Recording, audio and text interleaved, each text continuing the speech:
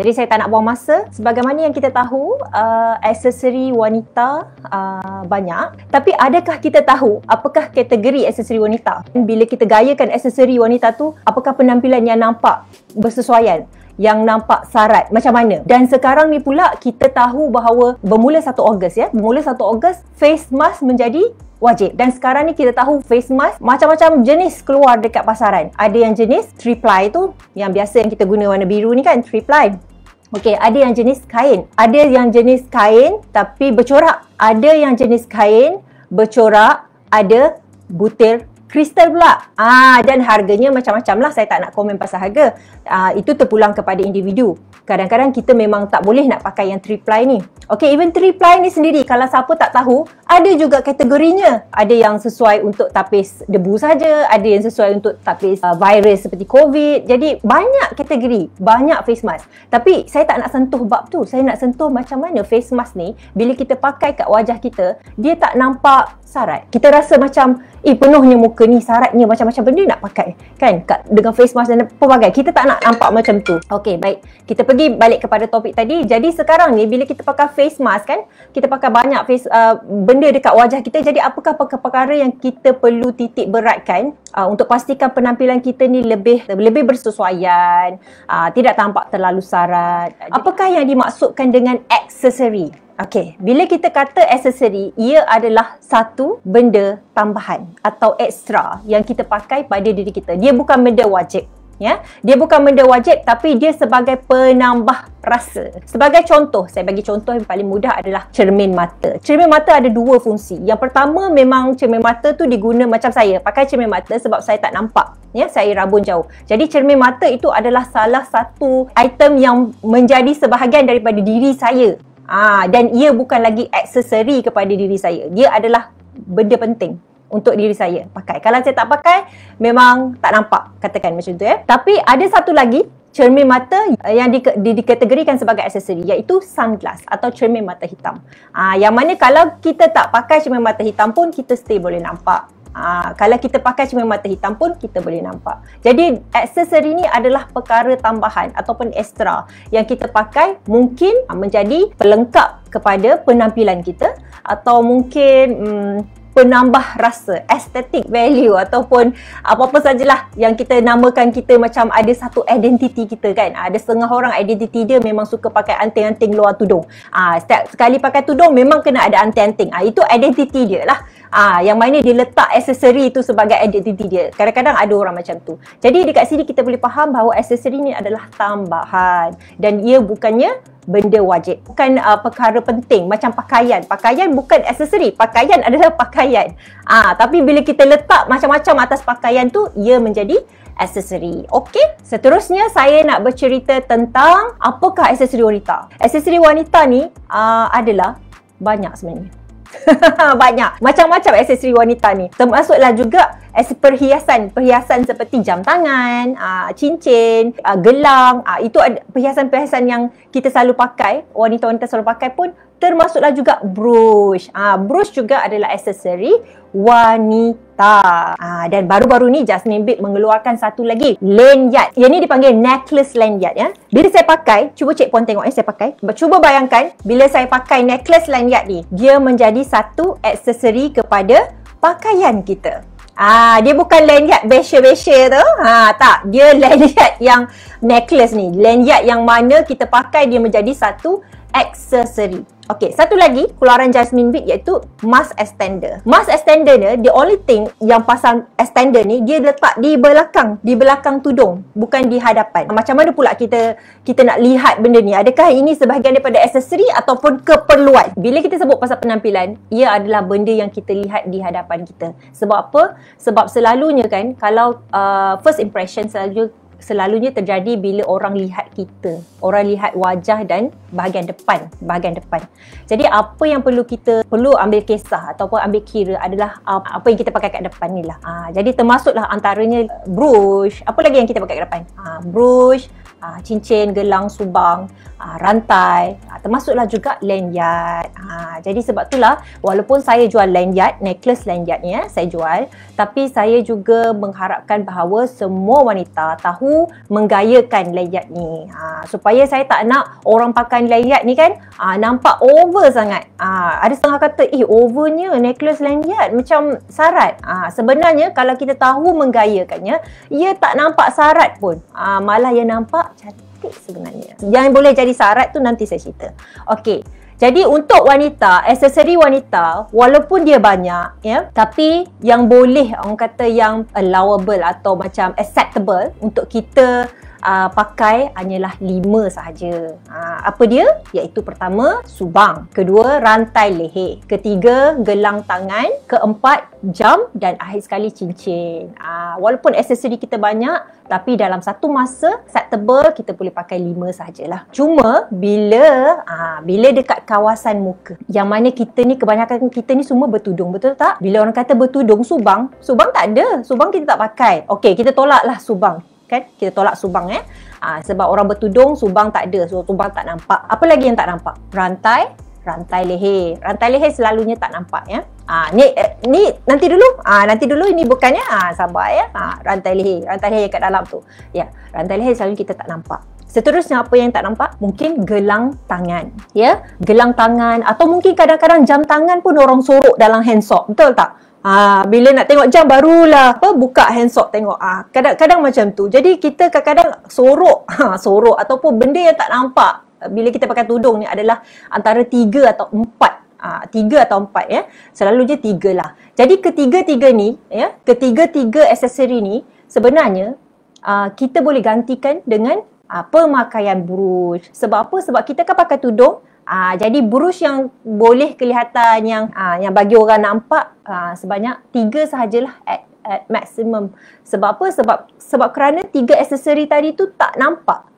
Sebab tiga aksesori yang disebut tadi ya, iaitu gel, uh, apa? subang, rantai dan juga gelang tu tak nampak. Jadi somehow bila orang yang pakai tudung, kita bolehlah pakai brush tiga brush yang kelihatan maksimum ah ya. Kat situlah bila kita nak kata syarat tak syarat adalah bilangan aksesori tu. Ah contoh eh katakanlah saya pakai saya pakai brush satu dekat sini satu aksesori. Dua dekat sini ya. Ah dua.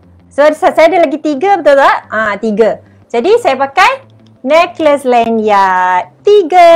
Ah, lagi dua apa? Ah, lagi dua mungkin cincin. Ah, ah sebagai cincin. Ah, empat dah cincin. Ah, lagi satu apa? Ah, jam tangan. Ah, tak ada pula jam dekat malam ni. Okey, saya tak pakai jam. Ah, tapi saya ada gelang tangan. Tapi gelang tangan tak tak nampak lah. Ah, mungkin sekali-sekala ternampak kan. Ah, tapi tak tak nampak. Jadi dekat sini, adakah saya kelihatan sarat di sini? Oh, tak naklah cincin besar. Okey, ini cincin besar sangat kan? Ah, kita tukar cincin kecil. Ah, kita tukar cincin kecil sikit dan macam tak nampak sangat tapi still nampak brush ni besar. Okey kita mungkin tukar dengan brush yang kecil. Ataupun saya sorok brush ni. Ah katakan saya sorok brush ni. Dan cincin saya kecil. Adakah saya nampak sarat? Mestilah tak sarat. Sebab dah tak nampak brush tu. Brush tak nampak cincin tukar kecil. Uh, c- uh, brush ni dia nampak dan saya pakai necklace lanyard uh, dah kurang lah sikit sarat. Okey even macam ni pun still tak sarat. Sebab masih lagi bawah lima. Ah, in fact bawah lima sebab tak nampak pun gelang tu kan. Ah, in fact bawah lima. Ah, samalah saya kalau nak tambah lagi brush sebelah sini, eh, sebelah sini pun boleh lagi satu. Ya. Ah, tambah lagi brush sebesar ni pun boleh lagi. Still tak sarat. Tapi kalau dia banyak lagi, ha, banyak banyak lagi brush yang bertambah-tambah dekat situ. Ah, cincin pun kiri dan kanan ke, ah, dia dah bertambah, dia dah jadi makin sedikit sarat dan tak bersesuaian lah. Bila kita pakai terlalu banyak aksesori, bukan apa, bukan tak boleh. Ya, kalau lepas ni orang buang lah semua aksesori dia. Jangan buang. Bagi kat saya. Bukan tak boleh pakai banyak. Tak ada masalah nak pakai banyak. Cuma kadang-kadang bila kita pakai terlalu banyak, bila kita berjumpa dengan orang, kita bercakap dengan orang, tumpuan orang bukan lagi pada kita tapi pada aksesori kita orang akan start tengok, oi cantiknya jam dia, oi cantiknya cincin dia, oi cantiknya necklace dia. ha kan. Ha necklace tak apalah kan, orang kata cantik. Ha sebab rare tak pernah orang pakai. Kita pastikan bahawa aksesori kita paling maksimum, paling maksimum yang kita pakai adalah lima tadilah. Dan kita pilihlah aksesori yang saiz ni kecil-kecil supaya tak nampak sarat. Sebab apabila nampak sarat sangat pun kita akan kelihatan seperti apa pun tak tahulah kan. Ha ada setengah orang dia suka pakai subang. Subang atas tudung. Ah, jangan jangan judge, jangan judge. Ah, itu hak masing-masing ya. Ah, itu hak masing-masing. Terpulang. Adalah sebabnya kenapa dia pakai macam tu. Tapi cuba bayangkan kalau kita pakai subang atas tudung. Cuba bayangkanlah saya tak adalah tu subang berjurai-jurai. Cuba bayangkan dia pakai subang berjurai-jurai. Ah, lepas tu dengan brush yang banyak, brush satu kiri dan kanan dan necklace lagi dan uh, itu menyebabkan penampilan kita nampak lebih sarat lah. Ah, kita rasa macam kalau guru saya, guru saya kata macam pokok Christmas bergerak lah. To me is too harsh lah to say that kan. Tapi in a way bila fikir balik betul juga kan. Ha, betul je. Ha, kita jangan judge apa-apa pada orang. Oh, itu hak masing-masing. Cuma saya cerita kat sini. Ha, at, selalunya kita pakai aksesori ni lima. Dan untuk brush yang selalu kelihatan selalunya tiga sahaja. Ha, dan kalau kita putuskan untuk pakai necklace lanyard ni. Ha, jadi nak nampak cantik, nak nampak penampilan tu lebih bersesuaian, lebih nampak sophisticated kan, elegant dan sebagainya. Kita kurangkanlah sikit aksesori tu uh, di bahagian tudung kita. Uh, ya. Yeah? Now, uh, masuk lagi satu. Kita ada extender pula. Uh, dah macam mana extender ni? Uh, kan? Ah, pakai lanyard lah, extender lah. Ha, ha, macam mana pula ni? Okey, saya cerita ya. The good thing pasal extender, dia letak di belakang. Dia bukan di hadapan. Ingat tak saya cakap awal-awal tadi? Saya cakap awal-awal tadi, ah, penampilan ni lebih kepada orang lihat di hadapan ni. Ha, apa-apa yang sarat tak sarat adalah orang lihat dekat hadapan. Orang tak lihat dekat belakang. Pakailah apa-apa saja extender. Ada setengah orang pakai macam Jasmine Beat buat ni. Ya, ada setengah orang pakai jenis extender yang apa? Kait-kait tu. Macam ada yang jenis yang boleh adjust-adjust kan. Ada uh, progress size. Macam-macam sekarang ni keluar. Ha, sebab saya puji. Saya puji orang buat extender ni sebab kerana dia memahami wanita. Susah betul tak untuk wanita pakai mask dalam keadaan bertudung. Saya tak tahu kenapa orang cipta mask banyak-banyak jual kat pasaran tu. Kena ada dua loop kat sini untuk sangkut kat telinga. Dia tak tahu ke orang yang pakai tudung ni, telinga dia duduk dalam tudung, dah macam mana nak pakai? Betul tak? Ah, saya baiklah kita ni orang Malaysia kreatif kan. Kita startlah buat extender macam ni untuk kita jugalah. Jadi kita ni terpaksa pakai extender macam ni supaya memudahkan orang macam kita lah orang macam wanita macam kita yang pakai tudung ni untuk pakai mask dan ikut peraturan. Aksesori lelaki pun ada lima. Ha, apakah aksesori dia? Necktie. Yang keduanya cincin. Cincin kahwin. Ha, lah ada yang terhilang dah cincin kahwin tu. Tak tahulah ada yang tak nak pakai dah. Jam tangan. Seterusnya sapu tangan. Handkerchief. Ha, jarang dah lelaki pakai sapu tangan tapi yes sapu tangan adalah aksesori lelaki juga.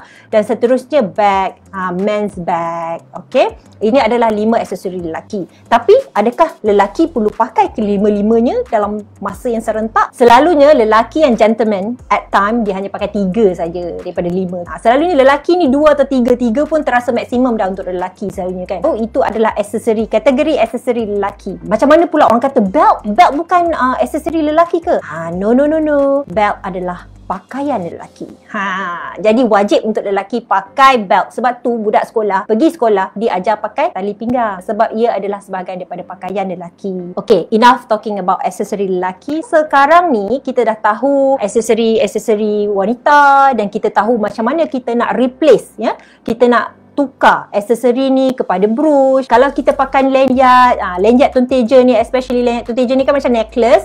Ah macam mana kita nak pakai baru nampak elegant, baru nampak sophisticated, tak nampak sarat. Okay, now saya nak cerita pasal face mask lah. Okay, kita terlanjur cakap pasal face mask tadi kan. Awal tadi saya bagi tahu kategori face mask ni ada banyak. Iaitu face mask yang macam jenis tiga three ply. Ah three ply ni yang macam ni lah. Seterusnya uh, face mask jenis kain. Uh, kain ni ada dua jenis lah. Satu yang plain, satu yang printed. Face mask jenis kain tapi ada manik-manik kristal. Cuma kat sini saya nak cerita macam mana kita nak menggayakan benda-benda tu lah. Uh, sebagai orang kata knowledge. Uh, yang pertama sekali sebelum kita nak cakap pasal gaya, uh, kita perlu tahu akan requirement. Ada macam pelbagai jenis mask kan.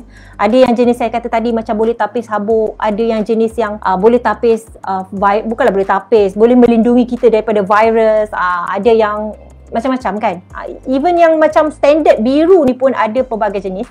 Apatah lagi yang jenis kain. Jadi pastikan kita beli ya face mask kain yang betul-betul ikut requirement KKM. Boleh check dekat page KKM apakah requirement face mask bagi kain. Bila saya baca tu kat mana nak beli? Sebenarnya uh, kain face mask macam ni ada ke? kita beli nak gaya ke, nak berpenampilan ke, nak jaga apa-apa apa sajalah. Pertama, ikut requirement ya. Bila kita pakai face mask kain ya, kita boleh pilih sama ada jenis uh, plain warna plain kita boleh pilih jenis uh, printed yang bercorak. Jenis uh, face mask kain ni bila dipakai dia menjadi sebahagian daripada pakaian kita. Ha, kalau macam face mask jenis 3 ply ni dia macam macam mana macam benda wajib. Macam spek mata tadi saya cerita spek mata orang rabun pakai spek. Ha, 3 ply ni macam tu lah. Bila kita pakai dia macam dia tak jadi sebahagian daripada pakaian. Dia jadi benda wajib uh, benda wajib yang dipakai. Uh, tapi kalau kita pakai face mask kain, dia menjadi sebahagian daripada pakaian. Uh, mungkin sebahagian daripada tudung, mungkin sebahagian daripada baju. Jadi macam mana kita nak gayakan face mask kain ni? Kalau jenis plain, ya, saya sarankan untuk kita cari uh, warna-warna yang bersesuaian yang boleh masuk dengan semua jenis warna. Uh, face mask kita beli warna yang boleh masuk dengan semua jenis warna tudung. Ha. Kalau warna plain lah. Kalau bagi jenis printed, ah, ada syarat dia lah. Kalau jenis printed, ah, kita boleh pilih sama ada printed yang ada sedikit elemen warna kena dengan warna tudung ya dan tidak terlalu sarat. Ah, ada setengah face mask ni dijual jenis corak animal printed, ada jenis apa as, askar punya corak tu. Jadi corak-corak begini dia agak bold. Dia agak menarik perhatian dekat situ. Jadi kadang-kadang bila corak-corak yang garang yang bold ni agak sukarlah nak masuk dengan tudung kita ya. Tapi kalau kita pilih corak-corak yang salah satu warnanya masuk dengan tudung selalunya nak selamat kita pakai tudung plain lah kan? Ah jadi nak selamat selalunya kita pilih warna-warna plain. Jadi apakah warna-warna plain yang mudah masuk dengan semua warna? Ingat lima warna ni ya. Ha yang pertama adalah warna hitam. Ha, kedua warna coklat warna kelabu warna biru gelap ataupun warna putih ha, jadi kalau kita nak pilih face mask uh, warna yang sesuai adalah warna-warna ni lah. Ada juga setengah orang dia suka warna-warna pastel atau pulang lah warna pastel ke. Ha, warna pastel pun mudah masuk juga dengan mana-mana tudung. Ha, terpulang lah kan. Ha, tapi saya bagi tahu lima warna ni insyaAllah boleh masuk dengan mana-mana lah. Seterusnya adalah face mask jenis kain juga ya. Face mask jenis kain tapi ada manik kristal. Ha. Ini macam mana pula kita nak tengok. Okay. Kalau orang yang face mask jenis ada manik kristal ni bila dipakai ya kristal yang ada dekat manik tu menjadi aksesori tambahan. Ha, jadi bila ada aksesori tambahan dekat face mask tu, ha, dekat situ kita kena go back to rule of accessories tadi. Ada lima dan yang boleh kelihatan yang tak nampak syarat bila kita pakai tiga saja. Ha, jadi kalau kita pakai face mask ya, kalau kita pakai face mask yang uh, ada butir-butir kristal tu mungkin kita boleh consider untuk tak menggunakan brush terlalu banyak ataupun kita pakai hidden brush. Uh, pin lah pin. Tapi pin ni orang kata tak selamat kan? Nanti nak dukung anak anak makan pula pin tu. Uh, macam-macam lah ceritanya kan? Uh, jadi kita boleh yang paling paling paling mudah adalah kita pakai brush kecil. Uh, dan cubalah sorok-sorok sikit bawah tudung tu. Uh, jadi itu adalah uh, caranya kita nak menggayakan face mask yang ada butir-butir manik tu. Ha, cantik sebenarnya. Saya suka tengok. Cuma kita kena pandai gayakan supaya dia nampak bersesuaian, nampak sophisticated, nampak elegan. Perempuan-perempuan ni memang nak nampak elegan je sebenarnya. Dan saya harap anda semua dapat sesuatu daripada FB Live saya ni tentang pas pasal topik aksesori lah. Okey, itu saja dari saya setakat ini ya. Jumpa lagi di lain masa. Okey. Assalamualaikum. Bye.